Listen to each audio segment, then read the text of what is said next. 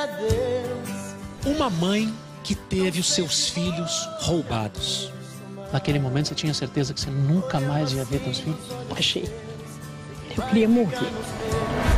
Marca desse olhar. Não tenho 38 anos de dor, de procura e incerteza. Nenhuma notícia. Não. Nenhum rosto. Nada. Nenhum telefonema. Nada. Nada. E se passaram 38 anos. Não aprendi a dizer adeus, mas tenho que aceitar que amores sem vão são aves. A busca por uma única resposta. Ele morreu, eu quero ver meu filho menos uma vez. Só isso pra mim já era tudo. Não aprendi a dizer adeus, mas deixo você ir sem lá. Um final surpreendente. Você não vai desistir de encontrar Não. teu filho. Não vou. Nunca. Quando Deus me tirar desse mundo, mas enquanto eu for vivo, vou esperar.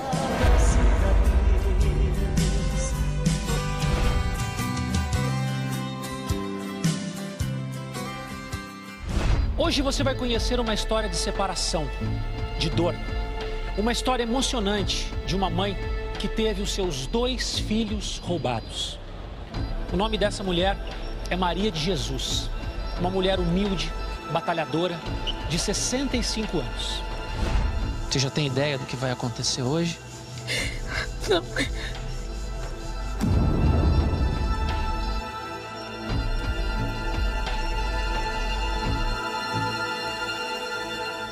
O ex-marido aproveitou um dia que a Maria estava na lavoura e levou embora dois dos seus três filhos. O caçula Renato, que tinha apenas seis anos de idade, e o filho do meio, o Ricardo, que tinha sete. Nenhuma notícia. Não. Nenhum rosto. Nada. Nenhum telefonema. Nada. Nada. E se passaram 38 anos.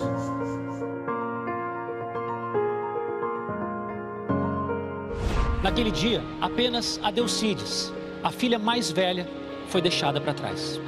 Aflita e desesperada, a Maria procurou pelos filhos em muitos lugares. Na rodoviária, nas cidades vizinhas.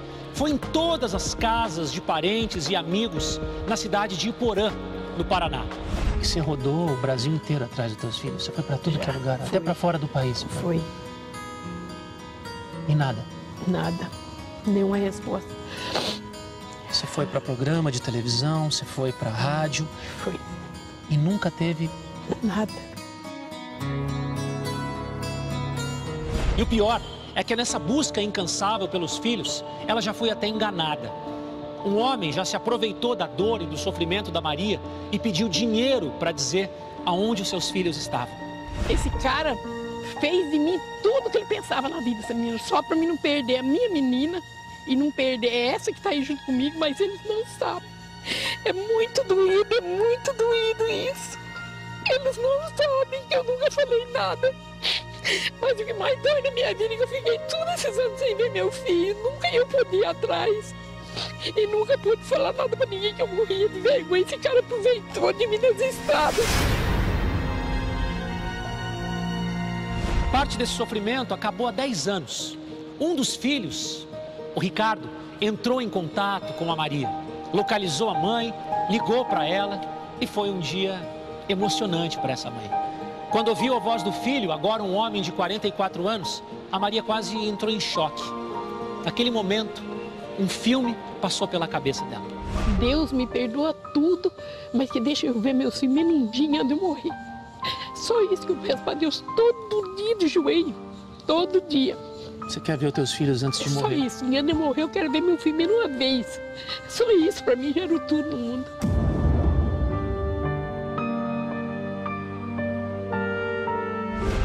Mas e o Renato? Por onde ele anda? Será que ele está vivo? Será que ele está bem? Hoje é dia de acabar com esse sofrimento. Hoje é dia de acabar com essa dor que dura 38 anos. A Maria recebeu um convite surpresa e está vindo aqui para São Paulo com o seu atual marido, a sua filha. Mas ela nem imagina que ela vai participar do nosso Hora do Faro e ter a chance de reencontrar o seu filho que ela não vê há 38 anos.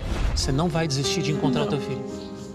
Não vou. Só Nunca. quando Deus me tirar desse mundo, mas quando eu for vivo, eu vou esperar.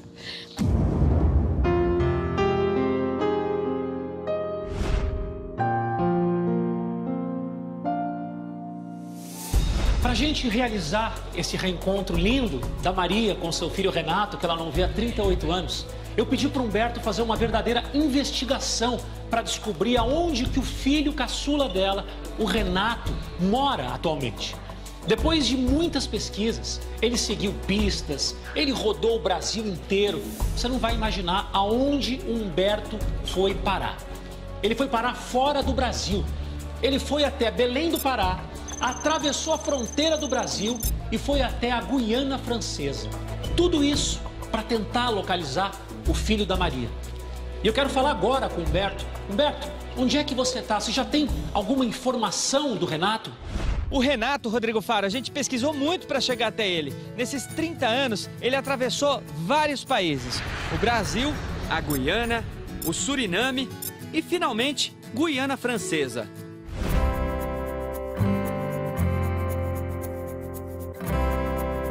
A capital Cayena, Rodrigo Faro, ela tem 200 mil habitantes mais ou menos. É como se fosse uma cidade do interior de São Paulo, assim, em, em tamanho, em número de habitantes, né? Agora, o bom é que existem bairros aqui onde moram mais brasileiros. A chance de encontrar o Renato nesses lugares é maior. Aqui, Aqui, depois dessa rua, é o bairro que tem brasileiros. Oui. Muitos. Muito, sim. Muito. Muito bom. Obrigado. A moeda que circula aqui, Rodrigo Faro, é o euro. Isso mesmo, é o único lugar da América do Sul onde a moeda é a mesma que aquela da União Europeia, moeda forte. E aí, sabe o que, que acontece? Isso atrai muitos imigrantes, legais e ilegais também. Foi o que aconteceu com o Renato. Ele veio para trabalhar no garimpo e acabou ficando. Hoje, ele estaria vivendo em um desses bairros onde tem muitos brasileiros, com uma mulher e quatro filhos. Daqui a pouco, Rodrigo Faro, eu volto, porque a gente já sabe que bairro é esse, tá bom? Já já aguenta coração, que se Deus quiser a gente encontra o Renato ainda hoje. Valeu. Meu Deus, Humberto, tomara, tomara que você consiga encontrar o Renato, tomara que essa pista seja quente mesmo. Bom, tudo que a gente quer hoje é acabar com o sofrimento da Maria. Tudo que a gente quer é fazer com que essa mãe reencontre o seu filho depois de 38 anos. Humberto, já já eu te chamo, tá bom? Tá? E aí você me conta se você já conseguiu alguma coisa, se você achou ou não o Renato. Bom, pessoal, Humberto está fazendo o possível e o impossível para encontrar esse menino, o Renato, que já não é mais um menino, né? É um homem, deve ter mais de 40 anos. E se tudo der certo, pessoal, o filho da Maria de Jesus, em breve, vai estar aqui, ó, nesse estúdio aqui, para reencontrar sua mãe, a sua irmã, depois de 38 anos. Olha. A minha plateia já está aqui, todo mundo já entrou, já se acomodou, porque se Deus quiser, essa minha plateia e você de casa, todo mundo vai presenciar um dos momentos de maior emoção nesse palco. Agora, gente, eu vou sair daqui da Record para encontrar a personagem principal dessa história, a Maria. Ela já está gravando um depoimento, mais um pedido para ver se alguém encontra o filho dela. Só que o que ela não sabe é que eu vou chegar lá de surpresa e vou contar que o nosso programa vai fazer o possível e o impossível para juntar depois de 38 anos mãe e filho. Vamos para lá. Eu trabalhava 4 quilômetros longe de casa, nas roças, né? Aí quando eu cheguei em casa, minha mãe falou assim pra mim assim, é, o Luiz apareceu aí e falou assim que ia levar os meninos para comprar um presente. Só que nós na roça ninguém tinha falado, não tinha, não sabia de nada. Aí eu falei para ela, nossa mãe, mas você deu os meninos? Ela foi, falou assim, não, eu arrumei para ele buscar o presente. Só que aí ele não veio mais. Humberto, pelo amor de Deus, dá uma notícia boa pra gente. Tá todo mundo aqui com o coração na mão. Você conseguiu mais alguma informação do Renato? Como é que estão as buscas aí na Guiana Francesa? Rodrigo Faro, a gente tá perto sim, eu tenho fé, porque a gente tá num bairro chamado Arc-en-Ciel. É assim, Nossa. Cidade Arco-Íris é o nome do bairro. É um bairro que muitos brasileiros escolheram para viver. E eu acho que se a gente procurar bem, o Renato mora em uma dessas casas aqui.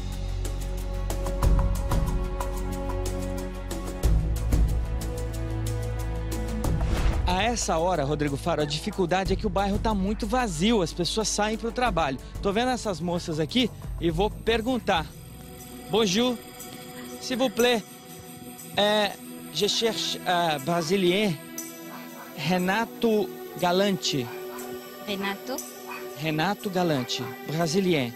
Não conheço. Não, Não, não conheço. Que pena, eu vi elas com essas pastas aqui, eu achei que poderia ter nome, né, das pessoas, algum cadastro, alguma coisa. Então, Renato, não. Não conheço. Não Não? Não? Ok. Euh, merci. De rien. De rien. Je cherche a Brasilien. Nós somos brasileiras. O quê? Vocês são brasileiras? Não acredito, graças a Deus. Vocês moram aqui? Moramos. Seu nome é? Lene. E você? E Ana? Então aqui faz quanto tempo? Há quanto tempo vocês moram aqui? É, eu já tô com 13 anos. Tá, então você deve conhecer muito brasileiro aqui. Você também tá esse tempo aí? 24 anos. Tá, aqui tem bastante brasileiro nesse bairro? Aqui. É, Muito. bastante brasileiro. Então acho que eu tô na pista certa. Eu tô procurando um rapaz chamado Renato Galante. Vocês conhecem? Nunca ouvi falar. Sabe onde vocês poderiam se formar? Lá no Dedé, na Associação dos Brasileiros, que tem bem, bem aí embaixo. Né? Tá brincando? Tem uma associação de brasileiros aqui? Tem. Ele A deve DAP. conhecer, ele conhece muita gente. Então eu vou lá. É já, é agora. Desenvolvimento, acompanhamento, animação e cooperação. É, isso. Porque as crianças vêm de tarde também para cá brincar, eles ajudam a estimular a criança. Vem da escola e ainda tem mais um reforço. Legal. E eles vão ajudar a gente a encontrar o Renato. Vamos entrar? Vamos cair pra dentro? Vamos lá.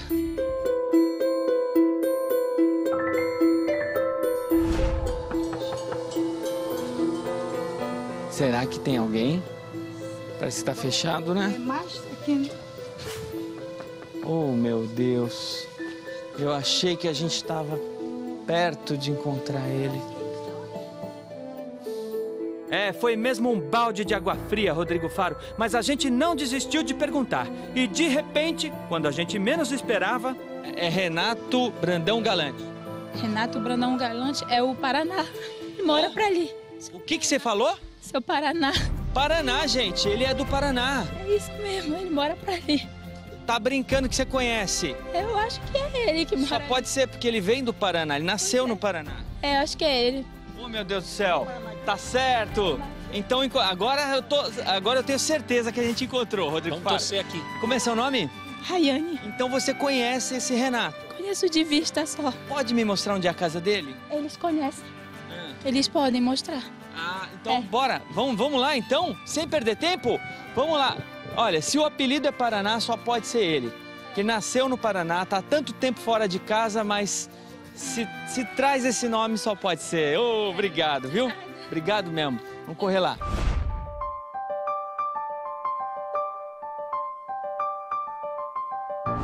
E aí, Neto, a gente andou já o quê? Uns três quarteirões e chegamos? Chegamos.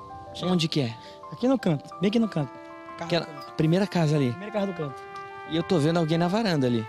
É... Deixa eu ver se é ele. Será que é ele? Olha lá. É, lá na varanda aí. É? Será que é o Renato que eu tô procurando? É ele mesmo, É? tá procurando. Oi, bonjour! Bonjour! Bom dia! Por favor, aqui é a casa do Renato? Quem é Renato?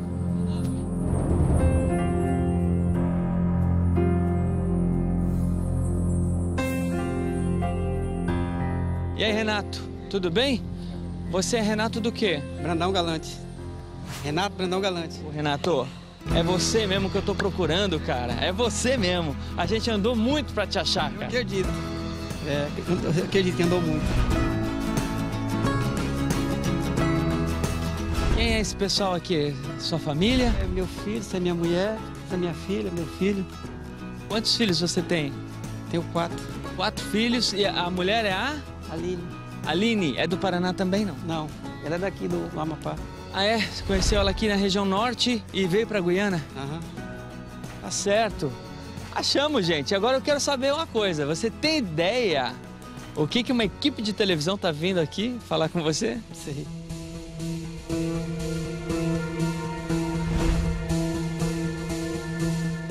Renato, conta sua história para mim.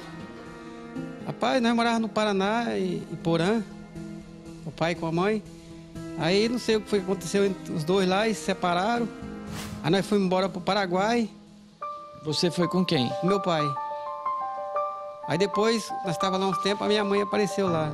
Eu tinha uns 5 anos de idade. Aí queria levar nós embora. Aí o pai não, não deixou nós ir.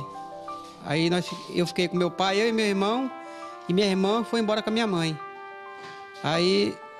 Isso faz quanto tempo? Rapaz, acho que parece que é 38 anos. Você saiu cedo demais. Aí nós fomos embora pro Mato Grosso. Aí no Mato Grosso, quando eu tinha 12 anos para 13 anos, eu não lembro bem, meu pai morreu. Aí depois que meu pai morreu, aí eu fui morar com, com um pessoal que era amigo dele lá, um senhor do seu Oswaldo. Aí eu queria estudar e ele não deixava eu estudar, eu só trabalhava. E os filhos dele estudavam. Aí eu falei meu irmão, não, mas já sabe trabalhar, então eu vou embora contigo trabalhar também, né? Não ter trabalho pros garimpos. Não, mas tu não aguenta trabalhar no garimpo. Você era muito novo. Muito novo e não tinha força. Aí eu falei, não, mas eu vou assim mesmo. Você era um menino? É, uma criança. Aí eu cheguei lá e os caras falaram, não, vamos te botar para fazer comida para nós. Aí eu fui trabalhar, ganhava 10 gramas de ouro por mês e fazia comida para os garimpeiros. Com que idade? Uns, acho que eu tinha uns 12 anos, 12 para 13 anos.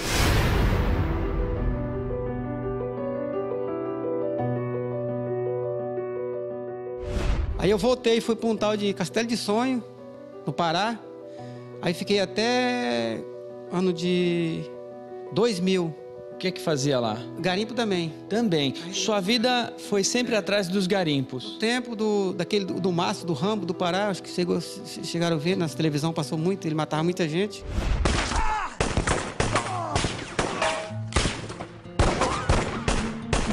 Era praticamente terra sem lei, né? Terra sem lei lá. É até hoje, hoje passa sempre no jornal, eles mostram terra sem lei.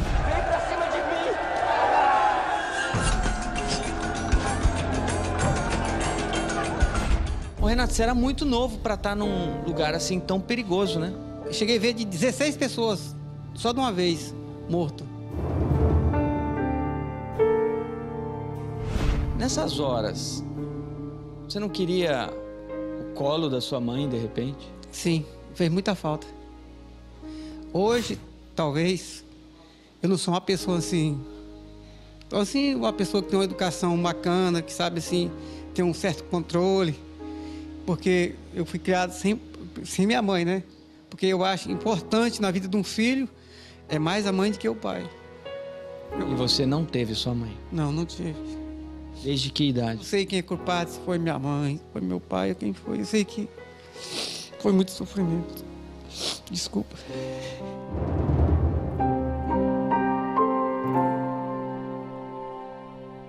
Eu passei tanta coisa por aí nessa vida que é ruim até de, de lembrar. Por exemplo, o que, que você já passou e que com certeza se sua mãe tivesse junto isso não aconteceria? Ah, sim, eu, vamos supor, eu, eu saí de um lugar, eu não tinha onde ficar, aí eu muitas vezes não tinha o que comer, eu passei fome, assim, em cima de caminhão, pegando chuva de noite, não, não tinha outro lugar para ir, tinha que dormir em cima do caminhão, sem uma lona para se enrolar, sem nada, debaixo de chuva.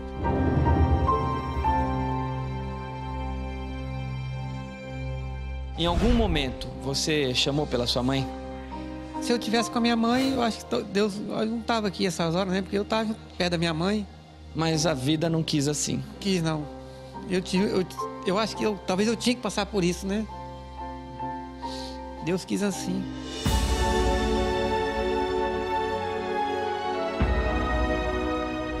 Como é que você chegou aqui na Guiana? Eu passei sete anos, sete, oito anos clandestino. Fui várias vezes preso, expulso, jogava para Belém para ir, voltava, muitas vezes não tinha dinheiro, vinha de, de canoa. Como é que você entrou aqui? Eu entrei legal, é, dentro do mato aí, carro de, tem um pessoal que carrega os clandestinos, né?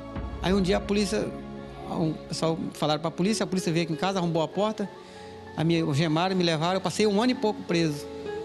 Aí nessa vez, que eu passei um ano e pouco preso, aí separei da minha mulher quando eu saí, que ela não conseguiu esperar.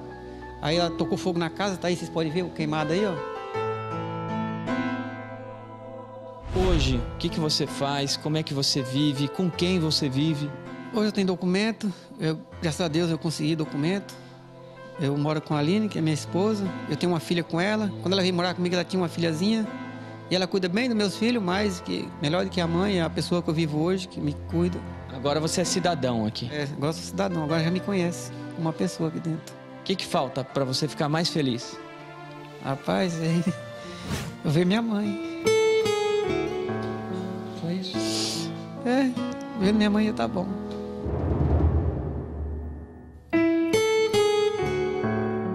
O que o seu coração diz? Que você vai encontrar sua mãe um dia? Sim. Diz que eu vou ver ela um dia.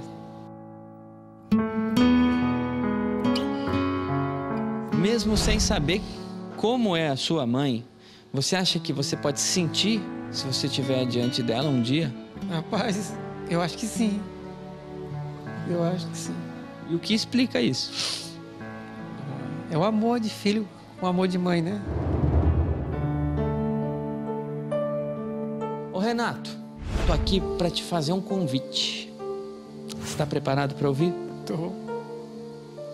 Eu quero te convidar para ir agora com a gente para São Paulo. Mas vamos.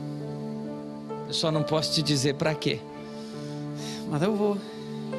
Vai com fé em Deus? Com fé em Deus. Vamos lá que eu te espero. Agora você tá com a gente, hein? Fica tranquilo. Dá um abraço aqui. Aí, rapaz. A Maria espera para ver esse filho, o Renato, há 38 anos. Você de casa, você que está me vendo agora, você imagina como é que vai ser a reação dessa mãe quando reencontrar o seu filho no palco? Mas eu não vou contar nada para ela agora, tá, pessoal? Só daqui a pouquinho. O que eu vou fazer agora é uma grande surpresa para Maria, que nesse momento está dando um depoimento aqui pertinho, numa praça que tem aqui do lado. Ela já está lá, pessoal? Já está lá? Então, eu estou indo para lá agora porque é hora da surpresa. Mas o que mais dói na minha vida é que eu fiquei todos esses anos sem ver meu filho. Nunca eu podia ir atrás. E nunca pude falar nada pra ninguém que eu morria de vergonha. Esse cara aproveitou de mim nas estradas. Ela tá dando depoimento bem aqui embaixo, completamente desesperada. Imagina essa mãe que sustentou seus filhos sozinho, foi abandonada pelo marido. O marido chega e simplesmente rouba esses dois meninos. Um filho ela conseguiu encontrar 10 anos atrás. Mas o outro, Renato, o caçula, até hoje, ela não sabe nem como é o rosto desse menino. Bom, se prepara aí, porque eu vou descer agora e vou contar para Maria que ela está no Hora do Faro. Vou fazer essa surpresa emocionante para essa mãe. Você vai acompanhar tudo isso a partir de agora. Vamos lá. Fui lá no Paraguai, eu fiquei 16 dias trabalhando de empregada para os outros. Para mim chegar até onde estava a menina e os meninos. Bom, gente, eu já estou aqui exatamente no local aonde a Maria está gravando mais um pedido, mais um apelo desesperado. Ela que tenta encontrar o seu filho Renato, o seu filho caçula, há 38 anos. Ela não faz a menor ideia que eu estou aqui. Ela nem imagina que eu vou chegar agora e vou dizer que a gente vai fazer o possível e o impossível para acabar com esse sofrimento hoje. É muito doído, é muito doído isso. Eu confesso para vocês que Eu nada. acabar com a agonia dessa mãe é, é tudo o que a gente quer.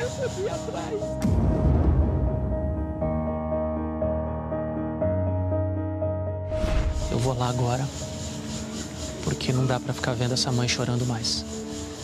Chegou a hora de, de botar um ponto final a esse desespero e hoje ela vai encontrar o filho dela no palco do Hora do Faro. E eu vou lá. Eu confesso para vocês que eu tô muito nervoso e muito ansioso de encontrar essa mãe.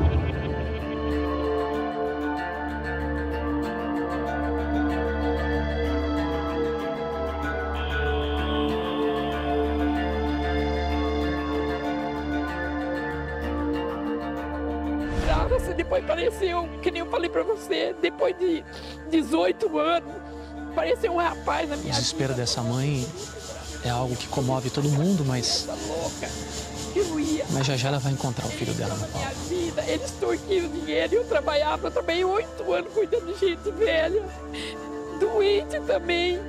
Meu pai estava doente em casa eu saía, eu cuidava do meu pai de dia e de noite. Eu ia passar com os outros, ficava os vizinhos em casa cuidando do meu pai, para mim ganhar esse dinheiro, para dar para ele no IAE, falando que meu filho estava que o meu filho estava no Paraguai, que o meu filho estava trabalhando de caminhão e eu fiquei uma mãe louca. Eu não podia ver um caminhão na minha vida, que tudo eu queria parar para ver esses filhos. Tudo eu queria parar. Eu passava naquele lugar que tinha esse caminhão parado e falava pro meu marido, por que, que eles não param um monte para nós perguntando de a um? Quem sabe que eles estão aí? Ele falava para mim, mulher, deixa na mão de Deus, um dia você vai ver, um dia você vai ver. Então, olha, é o que eu tenho que falar para vocês, eu já sofri demais, demais na minha vida, que é só aquele Deus poderoso que pode olhar. Maria. Eu não sei se vou conseguir. Maria. Oi. Maria, olha para mim. Rodrigo.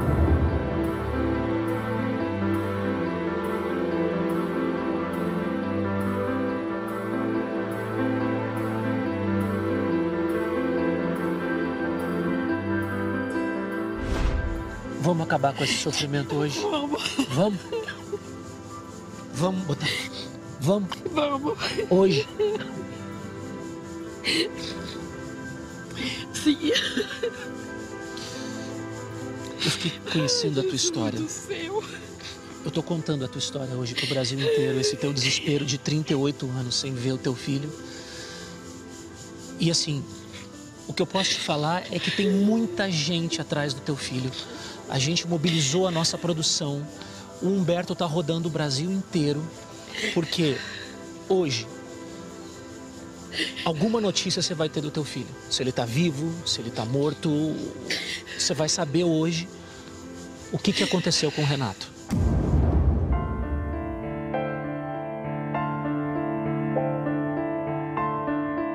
Você ficou 38 anos procurando o teu filho. Procurando. Até hoje. Nossa, nem fale. E hoje você achou que era mais um dia que você ia fazer mais um apelo, Eu vi, nunca- mais um depoimento.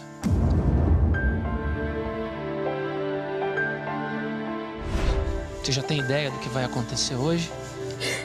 Não.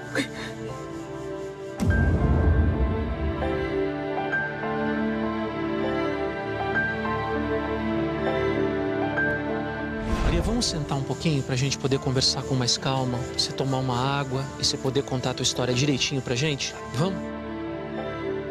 Maria, vamos voltar a 38 anos atrás. Você trabalhava na roça, certo? Trabalhava na roça. E você saía de casa, cedinho, ia trabalhar. E os seus filhos ficavam em casa. Ficava com a minha mãe. Sua mãe cuidava dos seus filhos.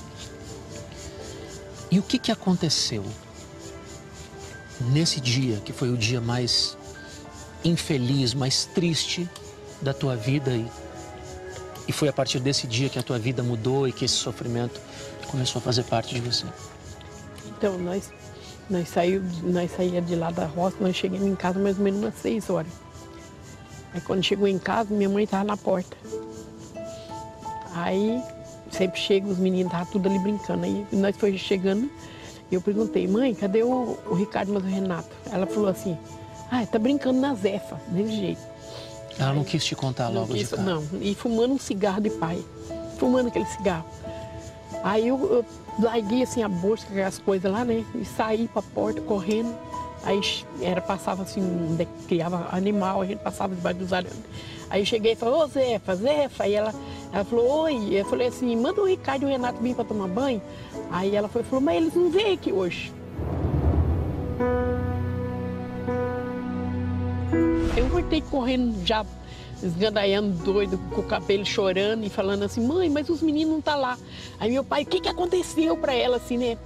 Brabo. Aí ela foi falou assim, ah, gente, eu não queria falar, mas, mas eu vou falar. O, o- o Luiz apareceu aqui e pediu para levar os meninos, que disse que ia comprar um presente. Meu Deus. E, e depois ainda voltou para trás e pediu o, o- certidão, porque disse que, que se ele não, se não desse o, o registro, que depois ia falar que, os meni- que ele estava roubando os meninos. Teu, teu marido chegou lá enquanto você trabalhava, pegou teus filhos e ainda pediu o documento pediu deles. ainda. Ela deu banho, ela trocou bonitinho, porque era que ia comprar um presente. E aí- Mas não falou que ia levar. Aí Teu marido levou embora teus levou embora. E aí nós. Aí o que saiu dali, o que a gente ficou ali, foi fiquei naquele desespero. Meu pai depois deu busca por ali, já viu que não era nada mesmo, que ele falou.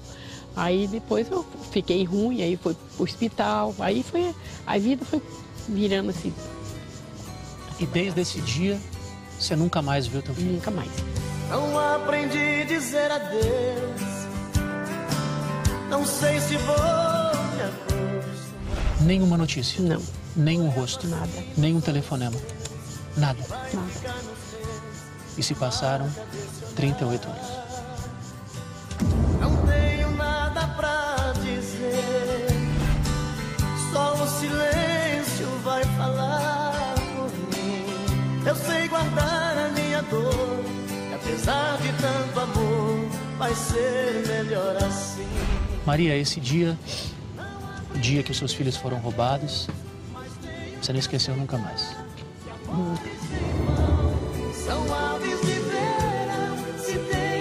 O que, que mais você lembra deles? Lembro do Renato, quando, era, quando ele era bem menininho, assim, né? Tinha do lado da nossa casa, tinha lugar que criava vaca, eh, cavalo, tinha aqueles cocos, macaúba, e a gente lavava roupa no rio. Aí, eh, dois dias antes, ele foi lá, catou aquele tanto de coquinho, assim, né? Já tirava a casca, ponhou em cima de um, de um pau, assim, que tinha no terreiro. E quebrou tudo aquelas balinhas. Aí quando eu cheguei, tava com aqueles copinhos, tudo cheio com as balinhas. Ele falava, ó mãe, é pra você. Essa é a imagem que você tem dele. E hoje você não sabe nada dele. Não, hoje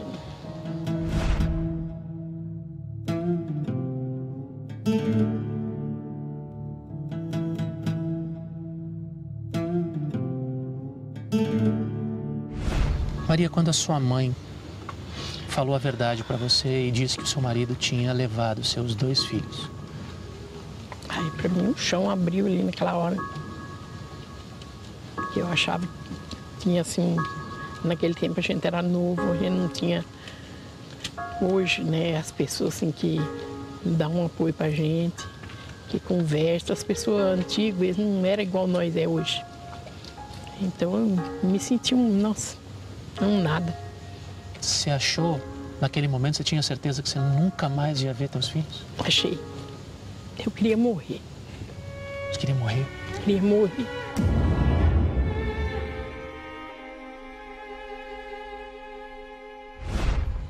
Porque meus dois filhos foi tudo na minha vida que eu tive. Foi tudo.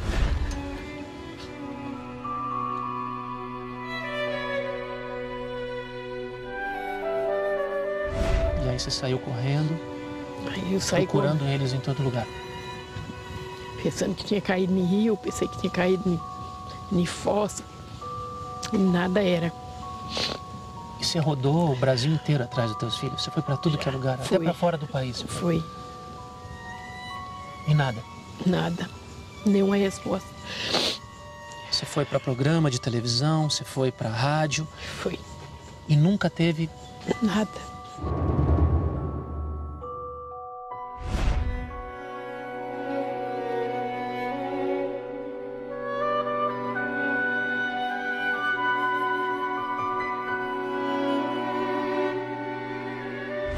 Apareceu essa pessoa na minha vida que eu falo para vocês que muitas coisas ruins, talvez não é tão ruim, a gente na hora se sente ruim, mas não é. Aí ele apareceu e falou assim: Eu tenho muitas pessoas que eu conheço em São Paulo que podem achar seus filhos. Eu falei para ele assim: Você tem certeza disso? Ela, ele falou assim: Tem.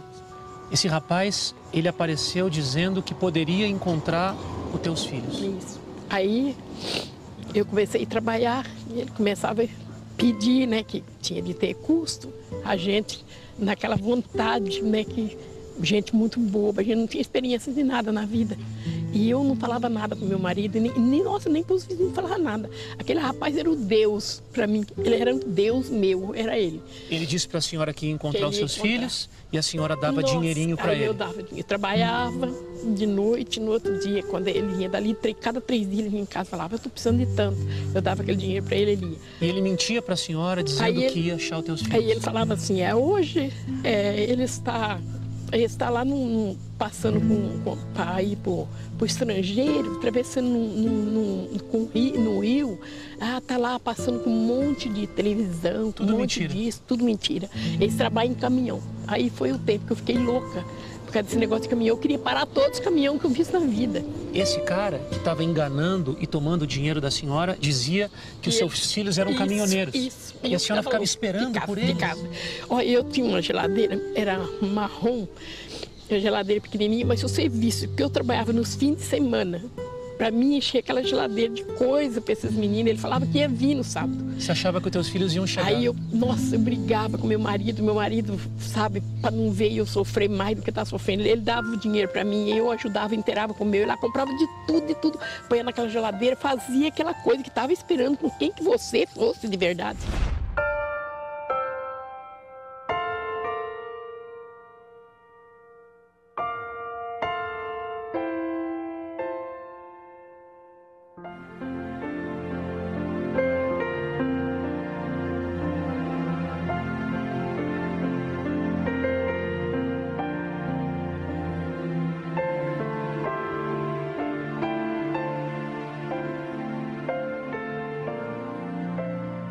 Tinha um banco que um, vizinho tinha dado, desses bancos de, de primeiro que vinha para as classes, que era de ferro.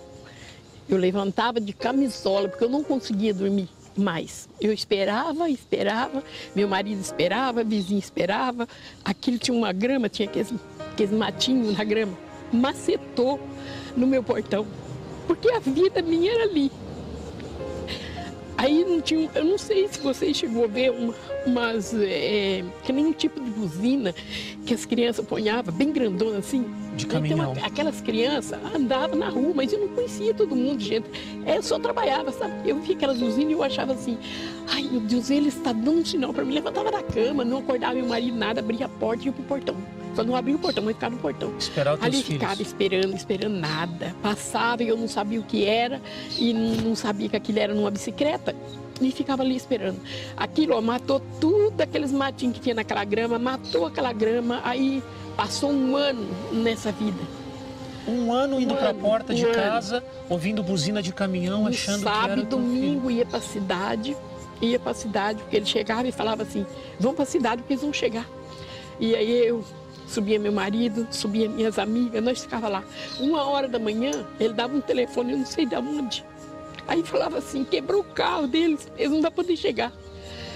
Eu vim embora chorando, chorando, meu marido bravo, aí foi meu marido enfesou tanto com esse homem de um jeito que não queria deixar ele nem chegar na porta mais. Os meus vizinhos, que eram que se chamava Fábio, nossa, mas ficou, foi uma coisa muito, muito triste. Mas nisso aí, depois de dois anos, ele sumiu nesse mundo, sumiu. Esse homem que é, te enganou, depois que ele, ele desapareceu que ele queria, depois. ele desapareceu. E tomou muito dinheiro da senhora. Pegou, porque eu trabalhava, eu dava escondido do meu marido, porque ele não podia saber, porque eu que queria o filho, não era filho dele, entendeu? Mas ele não era contra. Mas eu tinha medo de falar pra ele, pra ele não tocar ele embora. E a teus filhos? esperança que ele ia trazer de verdade. E teus filhos nunca apareceram. nada nunca apareceu. Aí, que nem eu falo pra você, aí parece que Deus descascou tudo que tava ali, mas descascou de verdade, que nem fosse um chão. E depois parece que ele falou assim: você tem de sofrer para você aguentar. Aí depois parece que foi lá e fez uma massa e tornou passar tudo naquele lugar que estava machucado e fez ficar essa mulher que você está vendo aqui para enfrentar mais esse- esses anos da vida. São 38 anos que você sofre e procura o teu filho. Você nunca mais viu o teu marido que roubou os teus filhos? Ele morreu com, com- depois, agora esses tempos atrás, eu fiquei sabendo que diz que ele morreu com com 33 anos. O que, que você sente por esse homem que, que roubou os teus filhos? Por ele, eu só perdoo, eu falo assim que Deus toma conta da alma dele. Eu não, tenho, não, eu não consigo ter mais mágoa de ninguém. Eu não tenho mais mágoa de, de ninguém que fez mal para mim, eu não tenho mágoa mais. Eu não consigo guardar aquela, sabe, aquela coisa dentro de mim assim, ó, que Deus me perdoa tudo, mas que deixa eu ver meus filhos mesmo dia antes de eu morrer. Só isso que eu peço para Deus todo dia de joelho, todo dia. Você quer ver os teus filhos antes de É só morrer? isso, antes de eu morrer eu quero ver meu filho menos uma vez. Só isso, para mim já era tudo no mundo.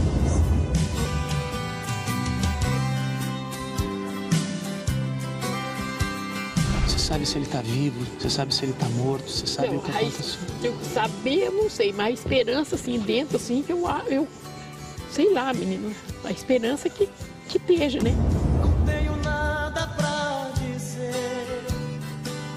Só o silêncio vai falar por mim. Eu sei guardar a minha dor. que Apesar de tanto amor, vai ser melhor assim. Saudade? Dizer adeus, mas tenho que aceitar que amores vêm e vão, são aves e vêm. Esperança? Esperança. Tem esperança, muita esperança mesmo.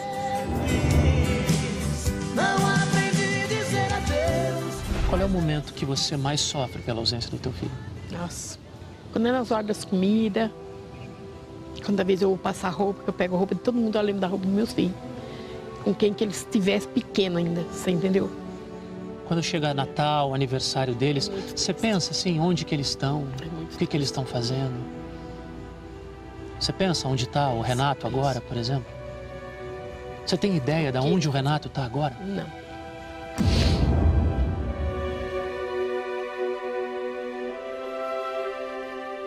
Mas Maria, você tem quase 70 anos de idade. Se ainda não desistiu, você vai procurar até o final da tua vida, teus filhos? Até Deus me tirar. Se Deus me tirar em antes, aí é porque Ele não quis mesmo. Mas eu, eu não vou desistir. Não vou desistir.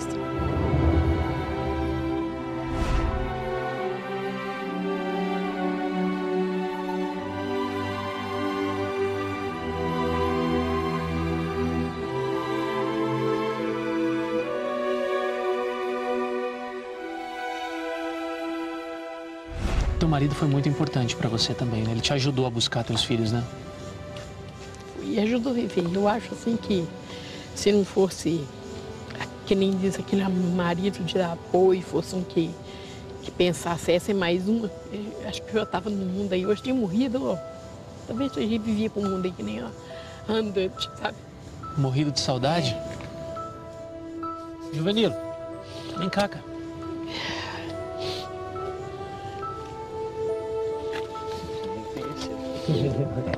Me conheceu, é? Senta aqui, querido. Senta aqui. Quer dizer que se não fosse esse homem aqui, você já não estava mais aqui? Ah, não tava. Não tinha força para aguentar tudo, não. Juvenilo, você ajudou muito ela a procurar o filho dela? Uma, uma vida inteira, né? Quase 40 anos. Procura, procura e, E nada. E todo final de ano né, parece que era pior que o outro. Aí até chegar um momento que a gente nunca perdeu a esperança. Até hoje você não perdeu a esperança. Não, não, não. Por um dia nós vamos encontrar, se Deus quiser. Através da ajuda de muitas pessoas, né? Que sempre todo mundo quis ajudar a gente, mas infelizmente até hoje, né? Difícil. O Renato não é teu filho? Nenhum mesmo. Nenhum deles.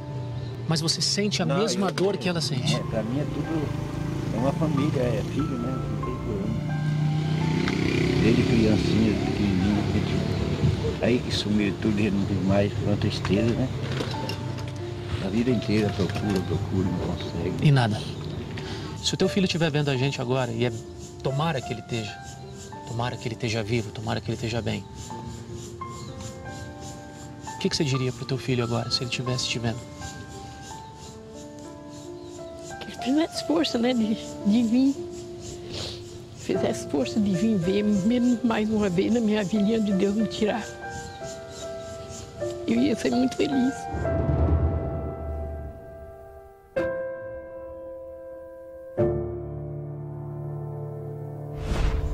Bom, os dois meninos foram roubados, mas ficou uma menina, né?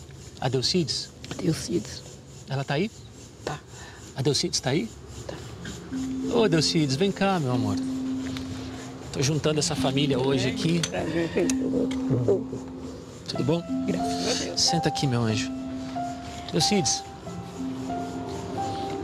nesse dia que foi o dia mais triste da vida da tua mãe, você estava junto com os meninos em casa quando aconteceu tudo aquilo? Não, porque eu era mais velho, né? Então a gente, eu tinha saído, tinha ido levar comida para eles na roça. Eles trabalhavam na roça, né? E a gente morou, quando ela separou do meu pai, ela foi morar na casa da minha avó. E eles trabalhavam na roça. E eu fui com eu e o meu, meu primo levar comida para eles. Então você não estava em casa Não, quando só tava minha avó. quando teu pai levou os meninos? Não, só tava minha avó. E você chegou antes da tua mãe ou chegou junto com ela? Daí eu cheguei, mas eu era pequena, eu, ela falou, os meninos levou, que ele falou que ia comprar um brinquedo para os meninos. Ele não falou para minha avó que ele ia levar os meninos dele. Ele falou que era para avisar que ele ia comprar, falou para minha avó, eu vou na cidade, comprar um brinquedo, daqui a pouco eu volto. E aí foi e nunca mais voltou. Aí quando chegou de noite, que nem foi ver que ele tinha levado de vez, né? Aí nunca mais voltou.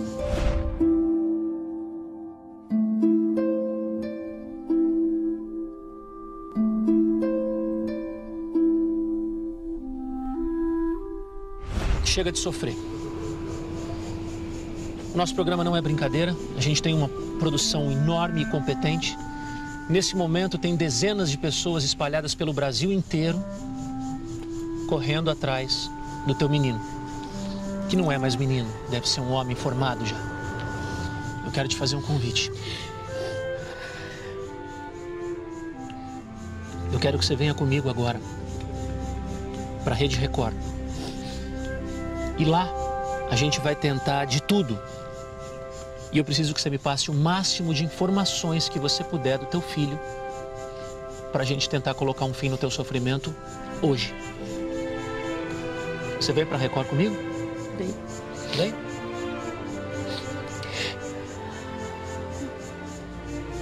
Teu coração de mãe diz o quê? A gente vai encontrar o teu menino?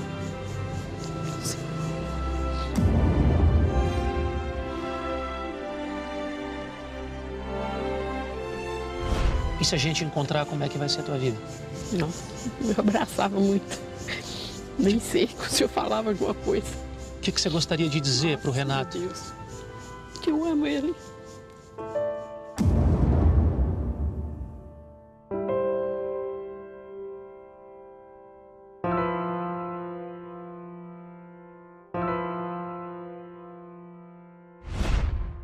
E se a gente não encontrar? Entrega na mão de Deus, né? Esperar mais. Até ele não me tirar, eu vou esperar. Você não vai desistir de encontrar Não. teu filho? Não vou. Só Nunca. quando Deus me tirar desse mundo, mas quando eu for vivo, eu vou esperar.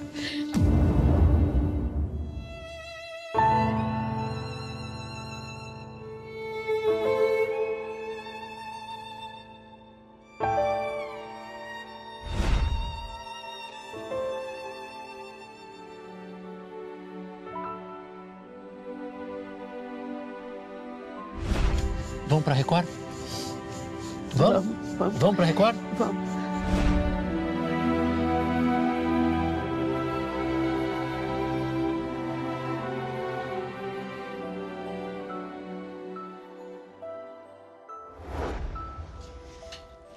E aí? Tá bonita, né? Hum, olha, gente, olha. Olha como ela tá bonita. Ó. Ah, bom. Gente já tá aqui na Record, tá? Estamos aqui, tá tudo pronto. Eu vou contar pra você por que eu te trouxe aqui, tá bom?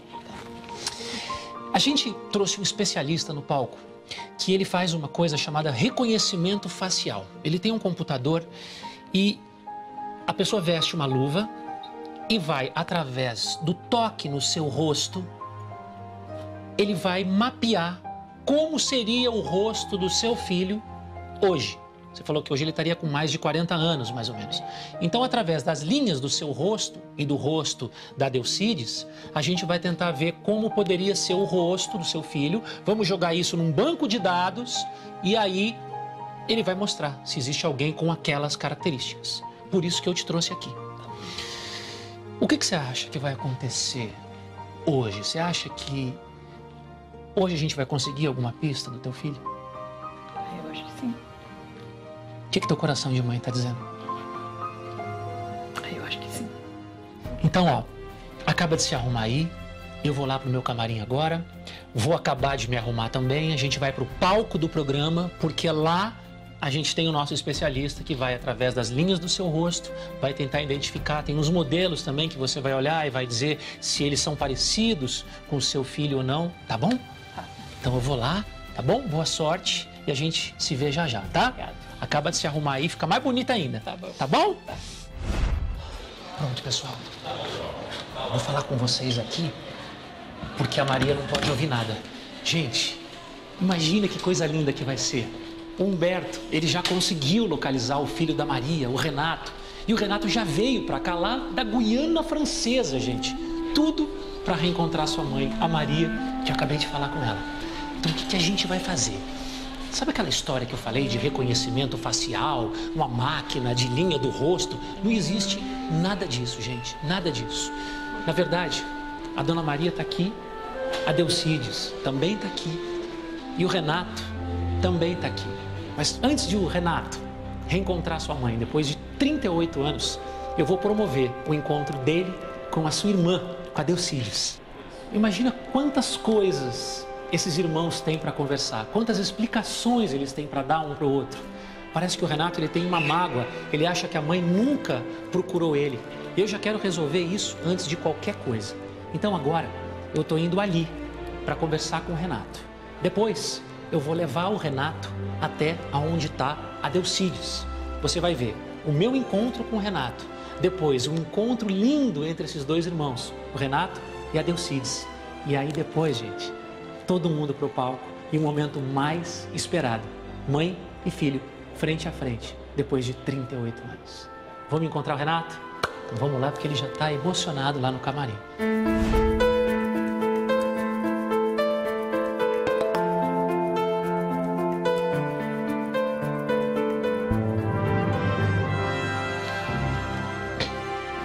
E aí, Renata?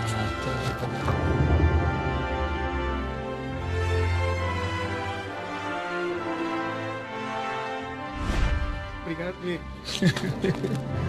Caramba! Como eu tô feliz de ver você aqui, bem, vivo.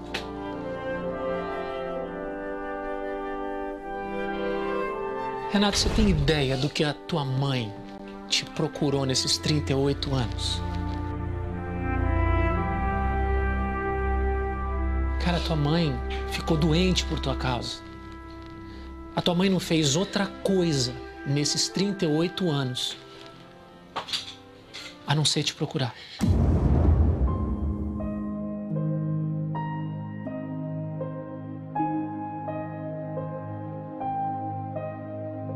Qual é o tamanho da saudade, Renato? É, mas grande.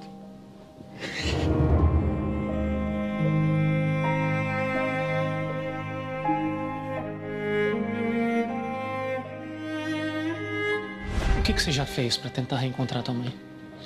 É, eu fiz de tudo que eu podia. E quando que você sentia falta da tua mãe? Quando que você pensava na tua mãe?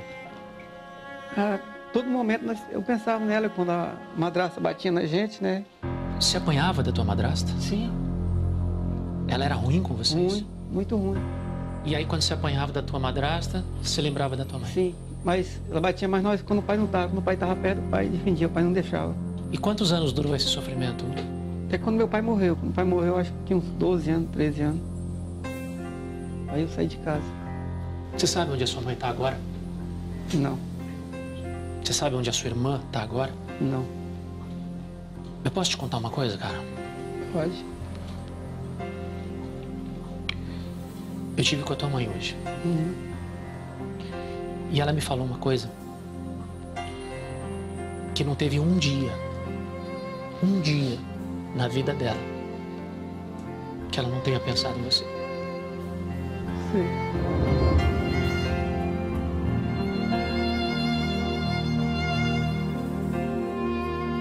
Ela contou pra mim que no Natal ela pensava em você. No Dia das Crianças ela pensava em você. Que no Dia das Mães, o marido dela dava um presente, como se fosse um presente seu, da Delcides, a sua irmã que ficou com ela, e do Ricardo, para que ela não sofresse. Eu acredito. Você sabia que a tua mãe ficou doente? Não. Doente de saudade, cara. De sofrimento. Sofreu muito. Ela foi em todos os programas de televisão que você pode imaginar, ela foi em todas as rádios. Ela ia para a porta da casa e ficava te esperando, porque um cara que roubou dinheiro dela dizia que você ia passar, que você tinha virado caminhoneiro. Todo dia ela ia para frente da casa esperar todo o caminhão que passava, ela achava que pudesse ser você.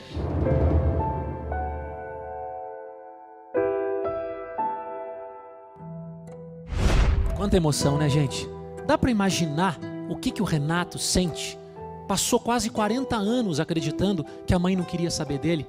Pois é, a rejeição que esse menino sentiu esse tempo todo. Mas hoje ele soube de toda a verdade, que a mãe nunca desistiu de procurar esse filho nem por um minuto. E já já eu vou fazer a pergunta que você quer fazer para o Renato: se ele tem vontade, se ele quer mesmo reencontrar a mãe, a Maria, que está bem pertinho dele. Aqui, gente, vamos continuar com essa história comovente dessa mãe, a Maria, uma mulher que viveu por quase 40 anos um dos piores castigos que uma mãe pode receber: ter o próprio filho levado pelo ex-marido e nunca mais ter notícia desse menino. O que ela não sabia é que o filho dela foi parar na Guiana Francesa, gente. E o que, que nós fizemos? Nós fomos atrás do Renato, trouxemos ele até a Record e agora, mãe e filho estão mais próximos do que eles imaginam.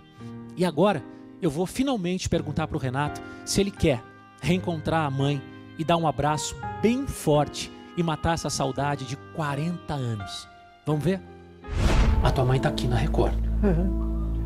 A alguns metros de você. Você está preparado para reencontrar tua mãe? Tô.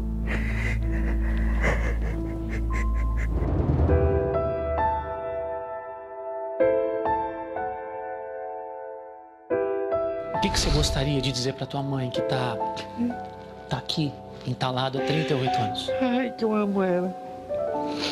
Eu amo muito minha mãe.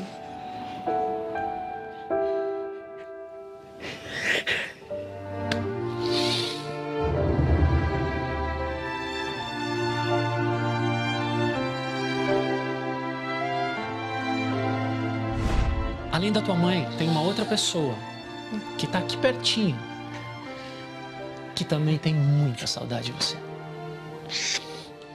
Essa pessoa, ela não foi levada pelo teu pai. Ai. Ai.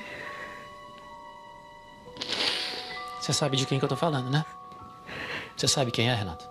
O Delcide.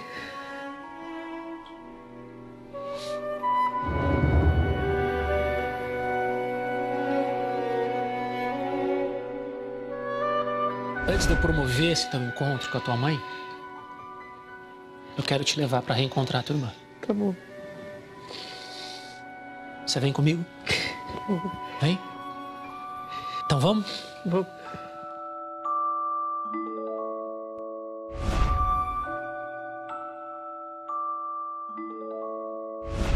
A gente trouxe a Delcides para uma sala de maquiagem, aqui pertinho.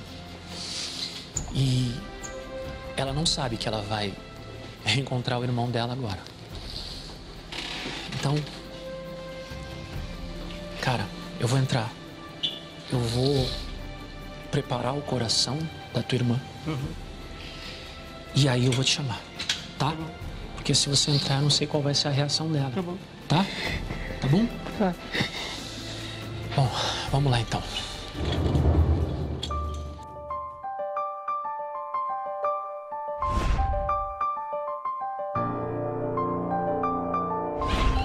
Alcides, posso sentar aqui um pouquinho?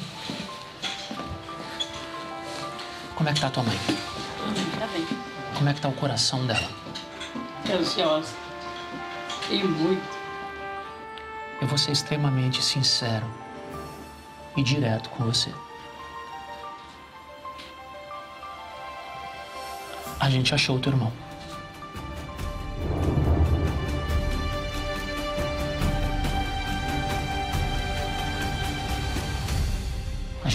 Guiana Francesa. E a gente achou.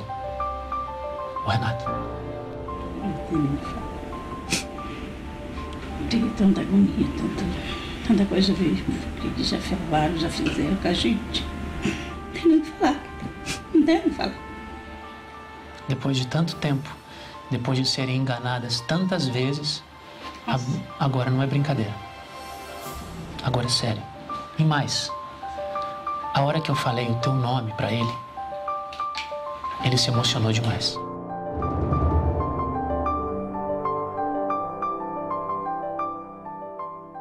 Eu quero dizer pra você que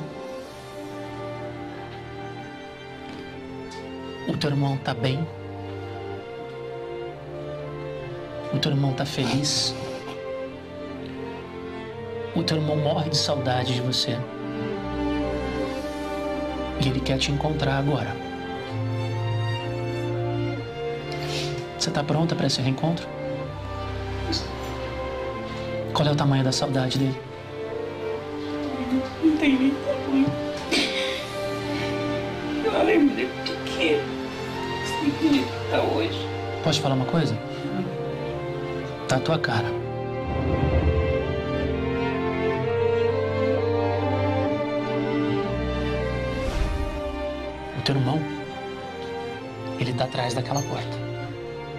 Só esperando eu abrir pra ele entrar pra te dar um beijo.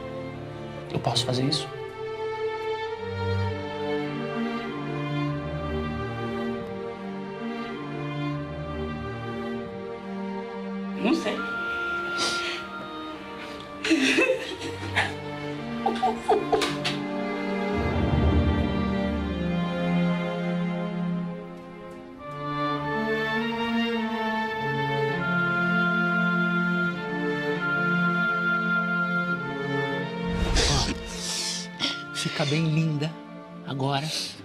Vai querer ver você a cara dele.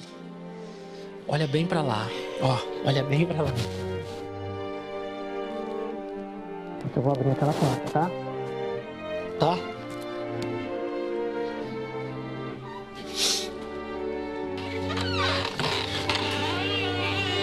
Cara, ela tá muito feliz de ver. Ela tá emocionada, você não faz ideia que vai ser lindo esse reencontro de vocês. E aí você fala pra ela tudo que você quiser depois que vocês se abraçarem. Tá bom. Tá? Tá. Você tá pronto? Tô. Posso abrir? Pode. Delcires, assim como você tá chorando aí, emocionada, tem outro cara aqui que tá igualzinho. E a tua cara. Depois de 38 anos, tá aqui teu irmão.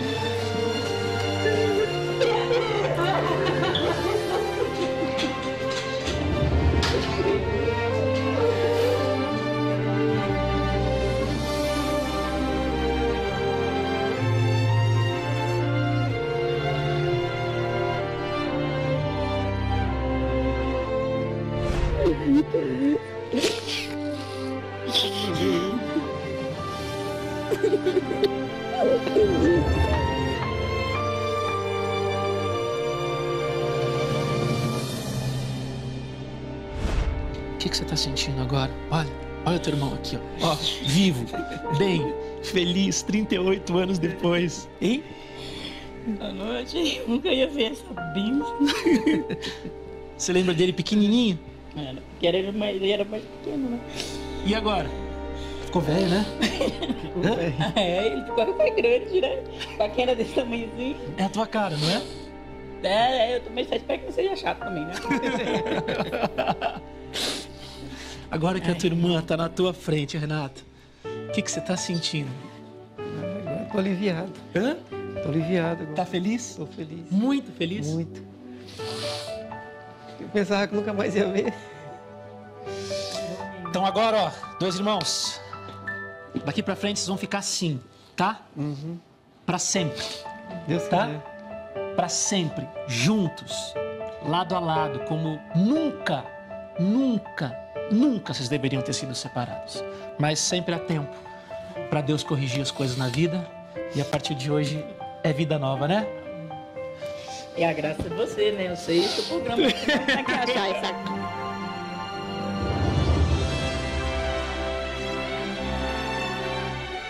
Quando eu imaginava isso? Nunca. Nunca, né? Que você ia estar abraçando teu irmão? Vocês achavam que ele estava mais vivo? Eu achei que não mais menor essa coisa. Olha, se isso aqui já foi emocionante, se esse encontro desses dois irmãos já quase matou a gente de tanto chorar, de tanta emoção, de tanta coisa boa, você consegue aí em casa imaginar, e vocês dois, como vai ser o reencontro do teu irmão com a tua mãe? Eu não posso nem imaginar. Porque, que nem eu falei pra você, foi muita judiação que fizeram com ela já. Como é que você acha que vai ser a reação da tua mãe quando o teu irmão aparecer na frente dela no palco do meu programa? Se eu bem conheço, se ela não gritar, vai ser um grande milagre. Porque ela, eu aí, vixe. É uma coisa que ela sonha. Essa noite mesmo ela não dormiu. Não dormiu? Não dormiu. Bom, gente. Então agora vocês vêm comigo, porque chegou a hora mais importante. Os dois irmãos já estão unidos, mas para a felicidade ficar completa, falta a mãezinha reencontrar o filho. Bom, pessoal, já está tudo pronto aqui no nosso palco para que a Maria reencontre o filho dela. O Humberto, graças a Deus, graças a muito trabalho, aliás, parabéns para nossa produção, para o Humberto e toda a nossa equipe. A gente rodou o Brasil inteiro. Fomos parar fora do país, imagina isso. E Humberto, graças a Deus, conseguiu localizar o Renato lá na Guiana Francesa. E agora o Renato está aqui, está ali atrás, ó, nos bastidores do nosso programa, só esperando o momento de entrar no palco. Você viu o momento lindo do reencontro da Delcides com o irmão, foi um momento inesquecível para ela. Mas para essa felicidade ficar completa, né, Delcides? Tá faltando alguém, né? Minha mãe. A sua mãezinha, né? Hoje a gente acaba com o sofrimento da Dona Maria. A Maria, nesse momento, ela está lá no camarim. Agora, gente, ela não imagina nada do que vai acontecer aqui hoje. A Maria não vê esse filho faz 38 anos, pessoal. É muito tempo, né? Agora eu vou explicar para você de casa, para minha plateia, porque você de casa vai ser meu cúmplice. E vocês também. Olha o que, que vai acontecer aqui no palco. Eu quero apresentar este rapaz, que é um grande ator, na verdade. O Ito é ator e ele vai fingir que ele é um especialista em reconhecimento facial. Ele vai dizer que consegue definir a imagem de uma pessoa só de tocar no rosto de um parente bem próximo. Né? Você vai dizer que tem um equipamento. Olha o equipamento que a gente inventou, gente. Olha aqui, o pessoal da Record está sensacional, cada vez melhor. Olha essa luva. Eu nunca vi um negócio desse. Pois é. E esse equipamento é muito moderno, de última geração. Só é necessário sentir o rosto da mãe e aí com esses sensores vai aparecer o rosto do filho dela, o possível rosto do filho, é isso? É isso mesmo. É uma tecnologia japonesa. Sim. E a gente aqui no Brasil colocou o apelido de retrato falado virtual. Retrato falado. Olha o que a gente inventa. E é um cara de pau ainda. Porque nada, tudo isso que ele está falando é mentira. Não existe nada disso. Então, o que, que vai fazer? Ele vai colocar as luvas e ele vai tocar o rosto da Maria enquanto ela estiver de olhos fechados. Mas aí, enquanto estiver acontecendo isso, ele vai dizer que precisa de uma ajuda maior dela para facilitar a descrição. E aí ele vai chamar numa outra etapa uma pessoa da plateia para ela sentir o rosto com os olhos vendados e descrever a fisionomia do rosto do filho dela, como ela acha que hoje seria o rosto desse menino que ela não vê há 38 anos.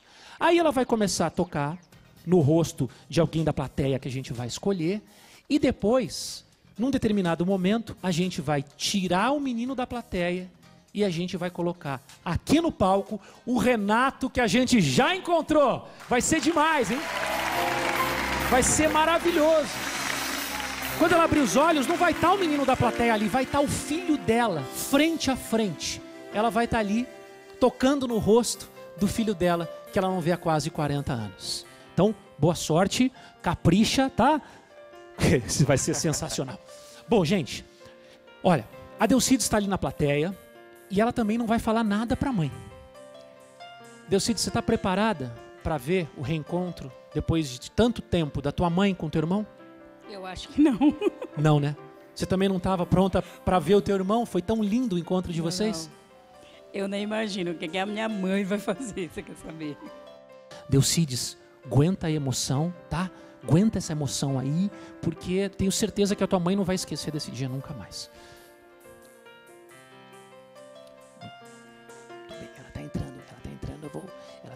Eu vou fingir que o programa tá continuando. Aplausos, aplausos. Bom, pessoal, vamos continuando com o nosso Hora do Faro. E agora, eu quero trazer uma mulher muito especial, uma mulher batalhadora que trabalha na roça desde criança para ajudar a família. Ela casou cedo, teve três filhos e depois se separou. Mas um dia uma coisa terrível aconteceu e mudou para sempre a vida dessa mulher. O ex-marido aproveitou que ela estava trabalhando na roça e levou os dois filhos mais novos. Isso aconteceu há 38 anos. E ninguém melhor do que ela para contar essa história para gente. Seja bem-vinda, Maria de Jesus! E o seu marido, Juvenilo, sejam bem-vindos.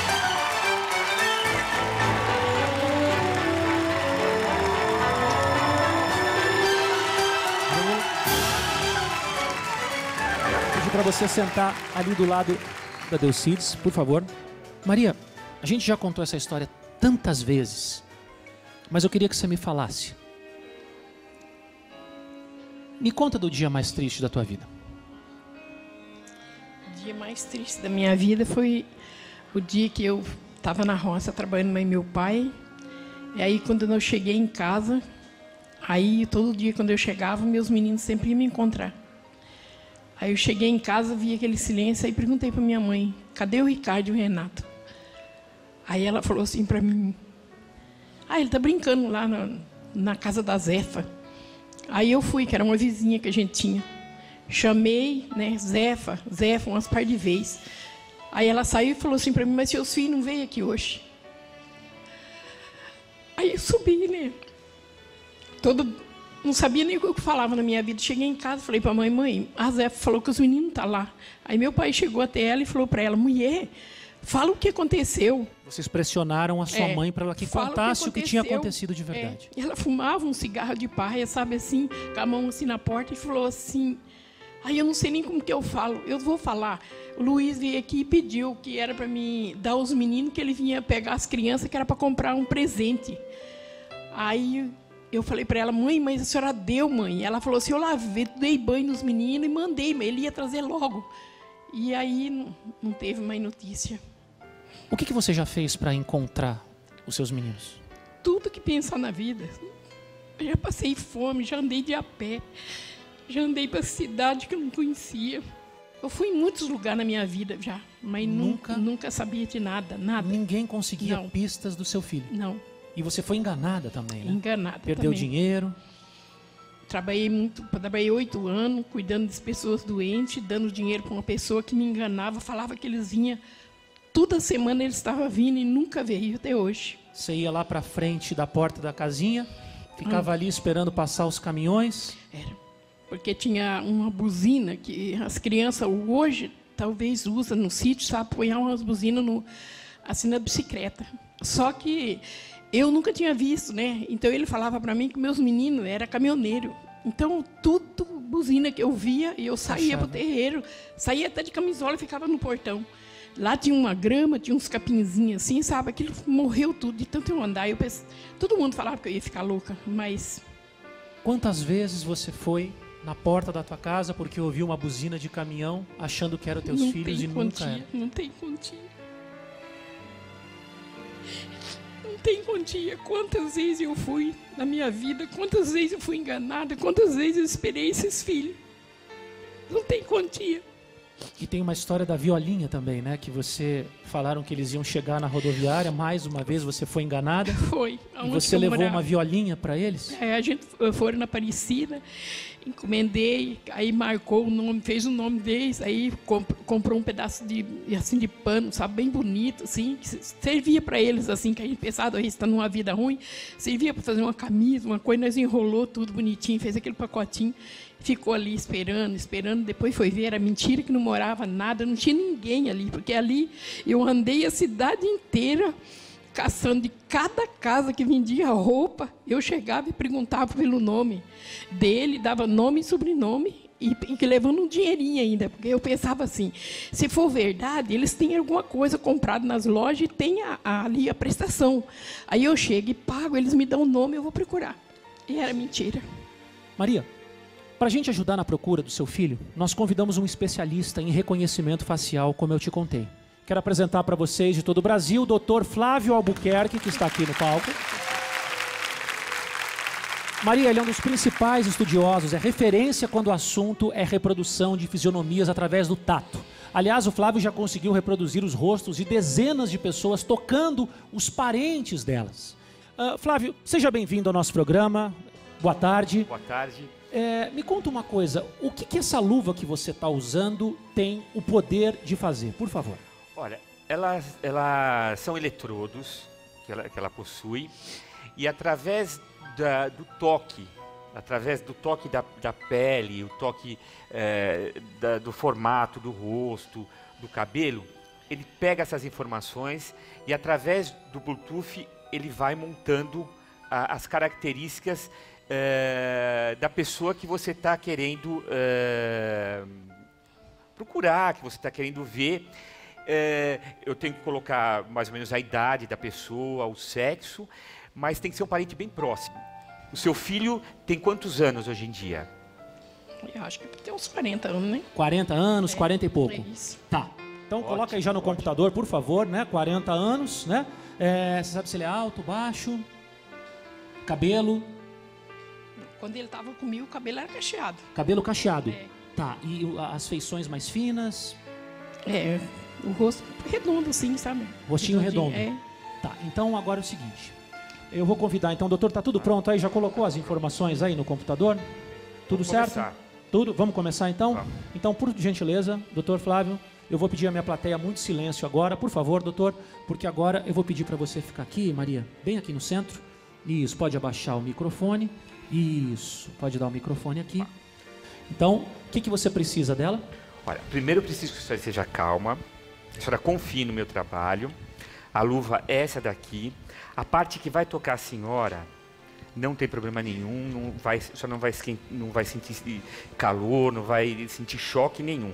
Só preciso que a senhora esteja calma, tá? Muito bem. E tenha um pouquinho de paciência. Então vamos lá, gente. Uh, eu preciso que a senhora agora fique calma, que a senhora feche os olhos, porque ele vai tocar o rosto da senhora os dados que ele vai coletar do seu rosto vão para aquele computador. Doutor, por favor, eu vou ficar no computador. Fique à vontade e vamos ver o que, que nós temos aqui. Primeiro eu vou sentir a textura da pele da senhora. Com todo respeito. Pode levantar um pouquinho mais o rosto. Isso.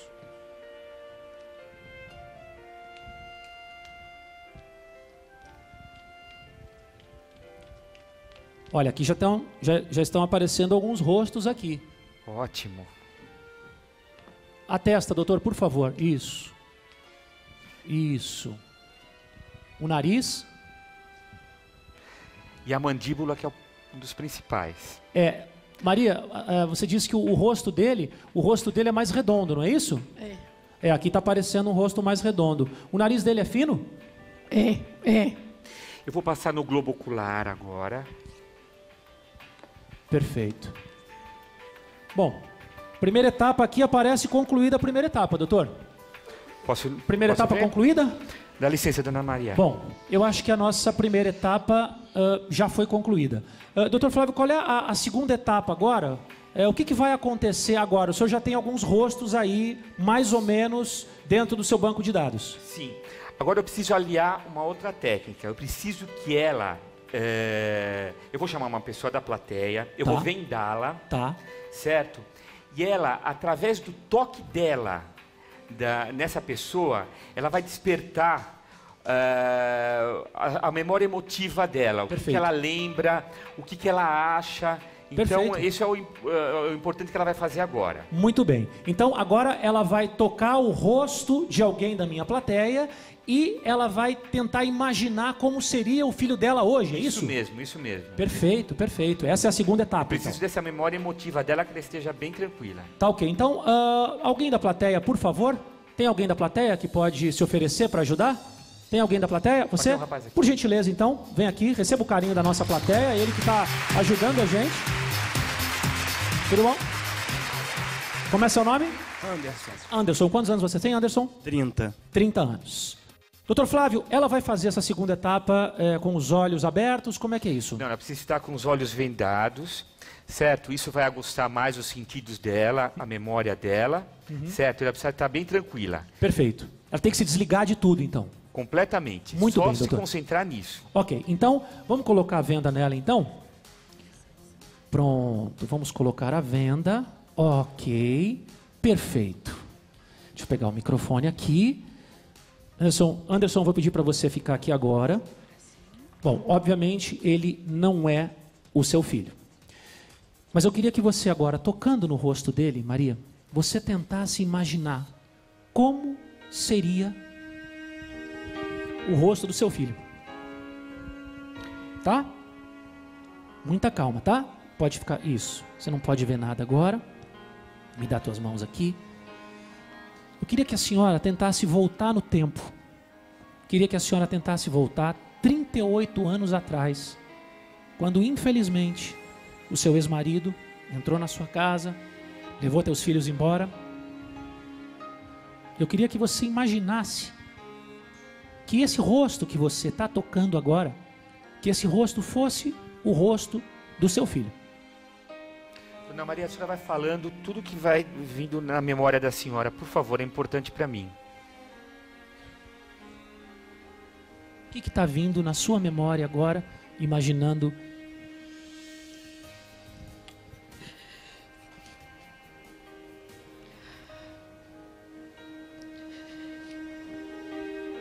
Imagina assim que. Acho que meu filho podia ter.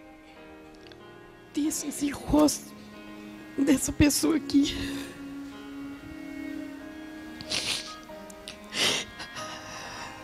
O que mais que a senhora pensa?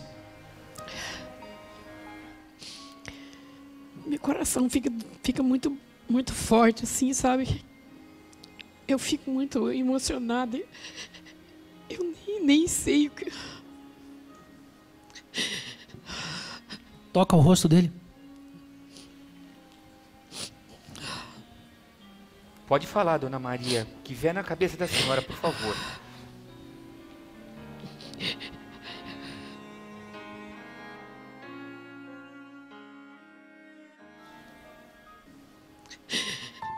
Maria, calma. Gente, vocês estão vendo, né? A Maria está muito emocionada. Então, eu vou dar um tempinho para ela tomar uma água, porque ela precisa se acalmar para conseguir ajudar o nosso especialista em reconhecimento facial. Enquanto, bom, gente, nós vamos continuar aqui com esse momento emocionante que a Maria está vivendo. Ela que há 38 anos sonha em reencontrar o filho caçula. Esse filho que foi levado pelo ex-marido sem direito à despedida. Ela não teve tempo de dar um beijo no seu filho. A gente trouxe um especialista, ele que faz reconhecimento de faces, de rostos, e ele está ajudando a Maria a se lembrar de cada detalhe do Renato, através da memória dela, para que a gente possa fazer um, um retrato, para saber como está o Renato hoje, como é o rosto dele hoje. Antes do intervalo, ela estava tocando o rosto desse menino da plateia que está aqui, e ela estava completamente nervosa, ainda tá, e a gente até teve que parar. Eu fui para o comercial para que ela descansasse, para que ela tomasse uma água, e agora sim, agora ela já está mais calma, mas ainda muito emocionada, e a gente vai continuar. Então, eu queria pedir silêncio, por favor, agora para minha plateia. É um momento que ela precisa se concentrar para que a Maria possa imaginar como seria o rosto do seu filho quase 40 anos depois. Calma.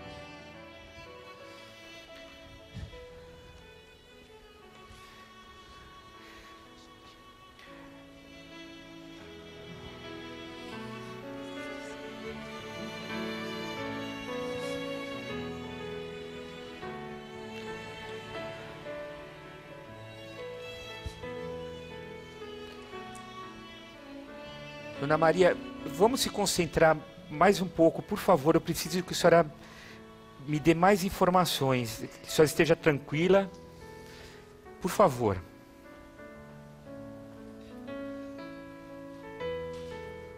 Tudo que vier na cabeça da senhora, tudo que a senhora se lembrar, lembra da sua filha, lembra dele pequeno, isso vai ser muito importante.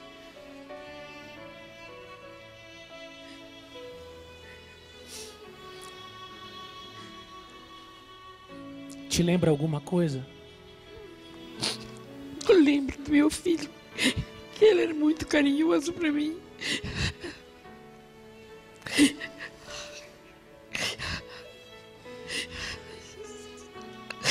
A senhora gostaria que esse, esse menino da plateia fosse o seu filho? Me desculpa, moço, por favor, me desculpa. A senhora gostaria que ele fosse o teu filho? Gostaria.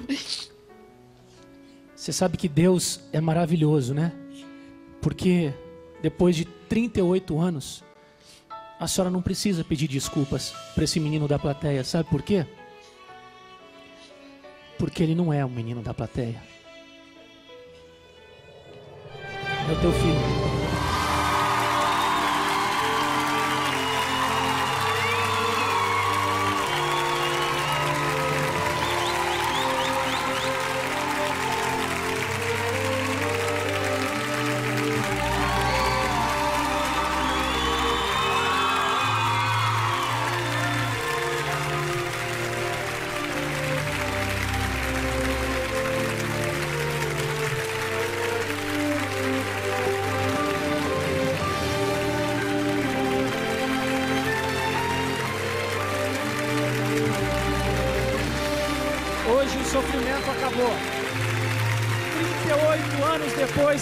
É essa. Essa emoção linda, verdadeira, de uma mãe que reencontrou o seu filho amado. Quase 40 anos depois, mãe e filho juntos no palco do Hora do Faro.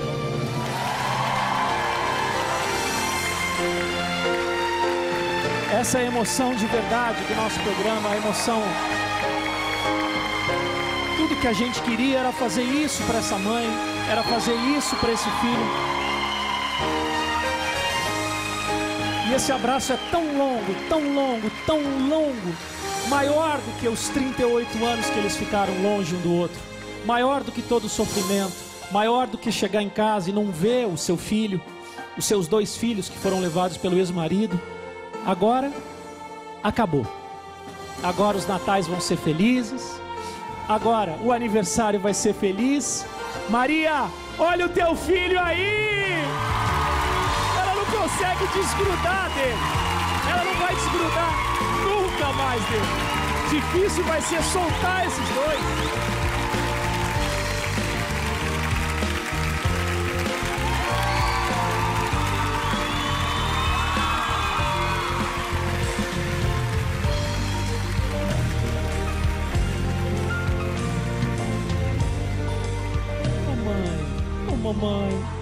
Maria, você quer uma água? A senhora tá bem? A senhora tá bem? Hã? Obrigado, Deus. Obrigado, Deus, que abençoe vocês tudo, gente. Quanto que Jesus é bom. Teu filho tá aí, ó. Você vai ter muito que conversar, muito que beijar, muito que abraçar teu filho.